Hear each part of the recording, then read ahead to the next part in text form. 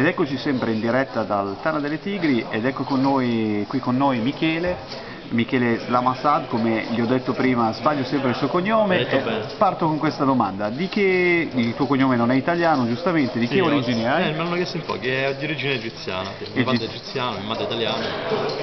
È uscito che sta croc. Che per noi blogger è complicatissimo. Comunque, partiamo subito. Cosa, come mai sei venuto qui al Tana delle Tigri?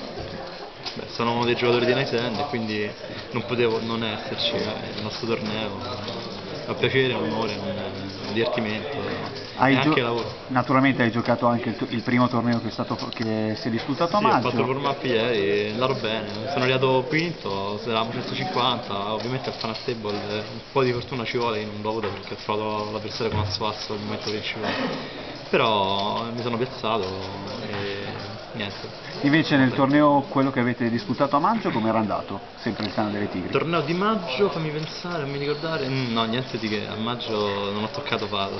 Ero Ah. partito molto bene, poi mi, eh, mi ricordo, anzi mi ricordo proprio perché nel giro di due livelli sono morto quattro, contro, due, quattro volte avevo top air e il mio avversario aveva progetto di colore e quattro volte hanno legato colore. Un torneo da dimenticare. Sì, sì, quello veramente- infatti mi sono ricordato questa cosa che avevo rimosso, era meglio rimuovere. Eh, oltre qui naturalmente al Tana delle Tigri, quali sono altri tuoi tornei live in cui pensi di andare a giocare? Ma quest'anno resto in Italia, quindi faccio le ultime tappe IPT e i Poker Grand Prix. Eh, invece per il 2010? Ah, probabilmente ci devo pensare, vado a Sharm el Sheikh eh, a novembre. È una delle tappe che forse faccio. Invece per il 2010? Nel 2010 vabbè, ci saranno due grossi tornei in Italia, che sicuramente le PT di Sanremo, poi forse fanno due PT a Venezia, non so se lo rifanno, se lo rifanno faccio sicuro, poi vedremo. Gli Naturalmente. altri, gli altri PT, le altre dane delle tigri. Non ti vedremo invece nessuna tappa delle PT, tranne Sanremo? E? PT a parte Sanremo non lo so, devo vedere con, eh, con lo sponsor.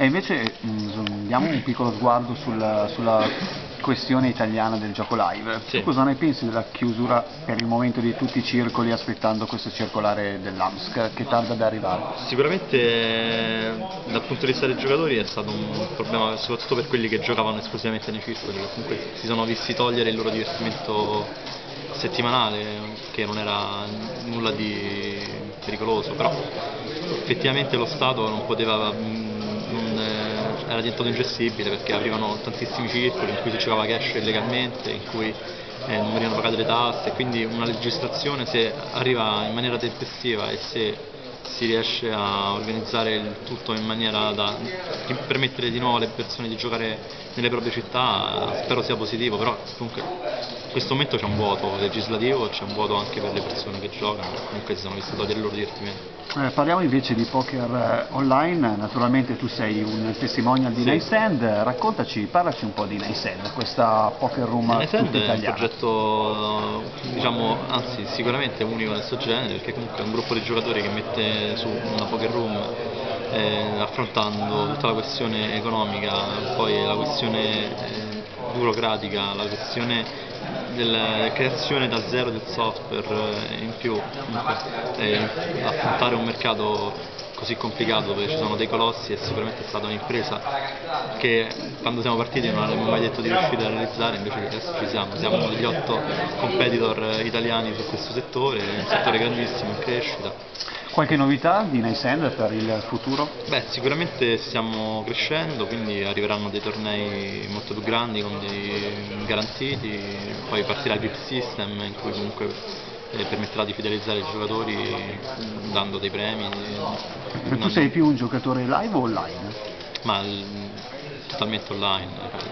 Live è una piccola percentuale del mio gioco, però. Quindi Gioco essen- online- essendo un giocatore, un giocatore online ti chiedo invece Mhm. eh, cosa ne pensi del poker cash che sta per sbarcare ormai in Italia? Eh, non potevamo non averlo, anche perché comunque gli italiani che vogliono giocare cash sanno dove giocare nei siti non.it, quindi era un, un altro vuoto legislativo Ma per te come giocatore?